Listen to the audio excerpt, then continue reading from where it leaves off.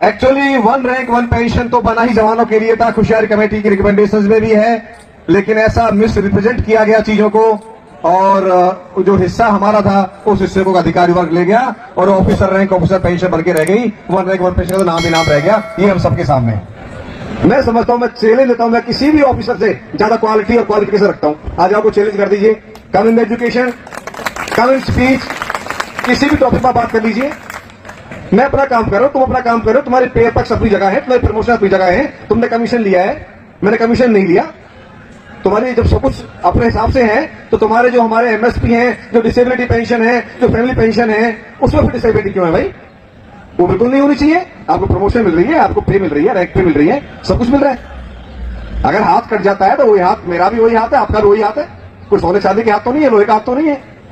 तो ये पॉलिसी जो बनाई गई है, ये ऑफिसर्स ने बनाई गई है, ये मैनिपुलेट ऑफिसर्स कर रहे हैं बट अकाउंटेबिलिटी तो डेमोक्रेसी में गवर्नमेंट की आती है।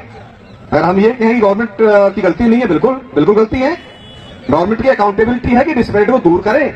जब इतनी रिप्रेजेंटेशन जा रही है और जवानों का आक्रोश सामने आ रहा है ग्राउंड लेवल पर नज़र आ रहा है, आज भी उसी स्वाभिमान से जीते आज कर्नल जनरल कोई सामने आ जाओ, कोई जज सामने आ जाओ, किसी को अपने सामने कुछ नहीं समझते। हम समझते हैं आई एम द बेस्ट मैं ठीक हूँ, मैं सबसे बड़ा हूँ। मेरे से बड़ा कोई नहीं है, मैं मैं ये मांगे चलता हूँ।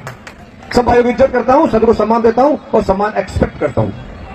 कोई अफसर होगा अपने लिए कल परसों अभी हमारी एयरफील्ड वाली बहस हो गई थी। अब वो क्या है कि वो जनरल कर्नल साहब रिटायर होकर के जैक से और एडमिनिस्ट्रेटिव मेंबर तो बन जाते हैं लेकिन फिर बनने हम अब हम जज बन गए। अरे भाई, अब जज नहीं हो आप। मेंबर हो और फौज के अफसर भी नहीं बचे हो। सुनिए हम जो कह रहे हैं गुस्सा मत होइए, आराम से बैठिए। आपको सुनना पड़ेगा जो हम कह रहे हैं। अफसर की मत दिखाइए। हमें यहाँ तक कहना पड़ा, कोर्ट में पड़े में you are no more option now you are bound to listen me listen what time पहले तो उसने सुना और बैठा। ऐसा नहीं है।